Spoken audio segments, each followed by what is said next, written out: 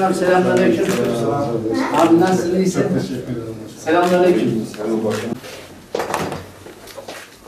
e, ziyaret etmemiz lazım yeni dönemle ilgili. O yüzden aslında gecikmeli bir hayırlı olsun ziyareti. Baktığında. Ee, ayrıca yine yurt dışında e, bir buçuk milyon dolarlık bir 10 yıl genel merkez yöneticiliği yaptım ben. Ayrıca E, Türkiye'mizin e, çok e, en güçlü e, sendikalarından, Malatya'mızın da e, gerçekten en güçlü sendikalarından birini Demiryolu İş Sendikamızı ziyaret ettik. E, Daha önce kongrelerini yapmışlardı. Biraz gecikmeli de olsa bir hayırlı olsun ziyaret oldu. E, Demiryolu aslında Türkiye'nin kalkınmasına e, denk bir e, süreç. E, Osmanlı döneminde demiryolu atağı başlamış ama biz Türkiye olarak demir yollarında daha sonra bir gerileme dönemine girmişiz. Ve çok doğal olarak demir yolu böyle hep zarar eden, e, işte kalitesi düşük, hizmet standartları düşük bir yapıya, bir anlayışa gelmiş. E, Rahmetlik Özal dahil el atmak istemiş. E, Bir türlü bu yenilenememiş.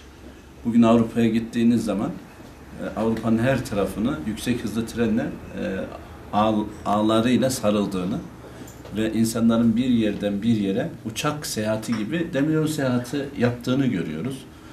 Elhamdülillah e, Sayın Cumhurbaşkanımız da ifadesi şu, e, ben geride neyle anılmak isterim demiş. Ben e, yüksek hızlı trenle anılmak isterim diyor. Yani geride beni anarlarsa bütün o yaptıklarına rağmen duble yollara, işte sağlıkta yaptıklara, bütün hizmetlerine rağmen yine de hedefindeki, gönlündeki anılmak istediği iş yüksek hızlı tren. Niye yüksek hızlı tren? Çünkü bizim e, öbür taraftan karayollarıyla yapılan taşımacılıkla ülke ekonomisine gelen maliyeti düşünüyor. E, aynı zamanda e, bu insanların ulaşımdaki konforunu düşünüyor.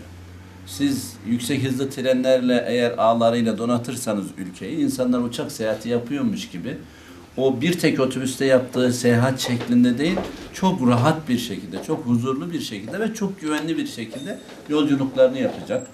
E, demiryolunun gelişimi aslında ülkemizin gelişimi demektir.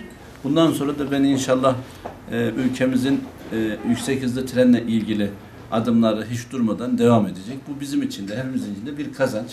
Ben e, bütün demiryolundaki kardeşlerime, abilerime inşallah çalışmalarında başarılar diliyorum. Sizin de e, yeni dönemdeki e, çalışmalarınız için e, başarılar temenni ediyorum. Rabbim inşallah başarılarınızı daim eylesin.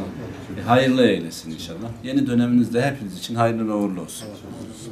ve Türk İş İl Temsilcisi, ayrıca Demiryolları Sendika olarak e, e, Sayın Başkanımın e, teşkilatımızı, sendikamızı ziyaret etmesi e, bizi son derece mutlu etmiştir.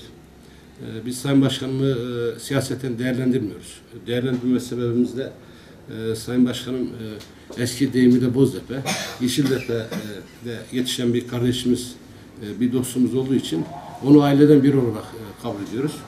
E, böyle aileden bir olarak kabul etmiş bir kişinin de Yeşilyurt Belediye Başkanı olması son derece bizi mutlu etmiştir, bahtiyar etmiştir. E, gerek hizmetlerimiz açısından olsun, gerekse şu anda demiryollarla ilgili sorunlarımızda bizi yalnız bırakmamıştır. E, bugün hem e, kongreden sonra e, hayırlı olsun düşüncesiyle gelmiştir. Ayrıca da demir sporla ilgili e, sorunlarımız var. O sorunlarımızı da yerinde tetkik etmek amacıyla da sendikamızı ziyaret ettiğinden dolayı kendisine teşekkür ediyorum. E, benim e, düşüncemle teşekküre bir anlam vermiyor. Kendisine Allah razı olsun, diyorum. Çalışmalarında bundan sonra e, Yüce Rabbim yer yardımcısı olsun diyorum.